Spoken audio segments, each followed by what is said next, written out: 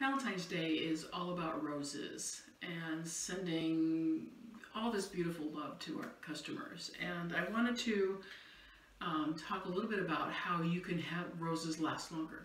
And that is simply the shorter the stem of the rose, the longer it's going to last. So I wanted to create a design that was easy to do, that also then has really great sustainability for our consumers. So I have from Accent Decor, this is the Element Trough, and it's just a glass dish that sets down into a wooden base. You know, that natural elements that we're seeing as a trend is really kind of nice, and this gives me um, some really fun ways to use this. And I've used it before, but I really kind of like this container just for the fact that I can do some really fun things. So what I've done is I've got small pieces of floral foam that are only maybe an inch and a half wide that are tucked into this. I have salal leaves along all the way covering that foam so you can't see it.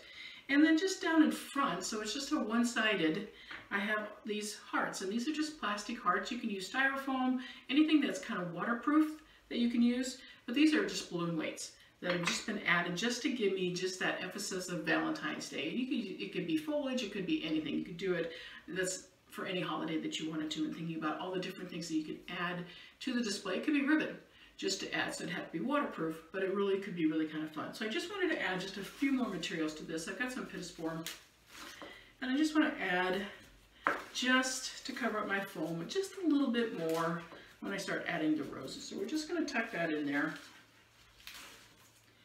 using all my little pittosporum pieces. Tuck down deep just to kind of give me some more stability in there and also just to, as a mechanic, just to kind of cover that. It's important not to be able to see the foam, but it has to be there in order to sustain my flowers to, for support. So I'm just going to take some Freedom Roses and just cut them all down and just start at one end and just plop them across the top. And this is a pave, meaning that all the products that I'm putting in is all at one level.